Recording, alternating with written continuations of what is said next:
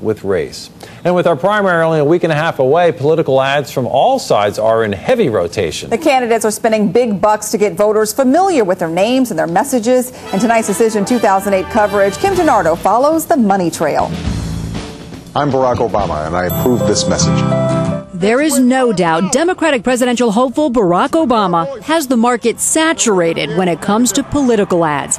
In all, he spent nearly $160,000 this week at the NBC, CBS, and ABC affiliates. It's all about money. I mean, most recent campaign finance report Barack Obama raises $42 million, Hillary Clinton raises 20.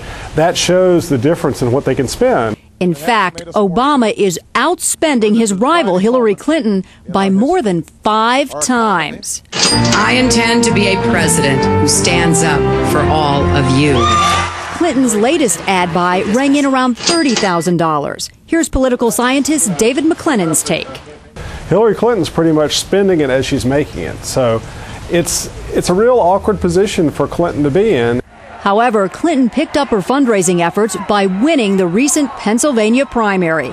The Clinton camp reported nearly 10 million in online donations, so most likely her local ads will increase as we get closer to North Carolina's primary.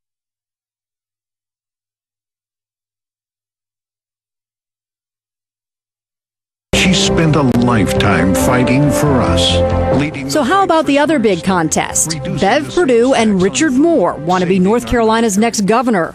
Decisions say a lot about character. Their ad buys are pretty close in amount. Moore spent slightly more than $127,000.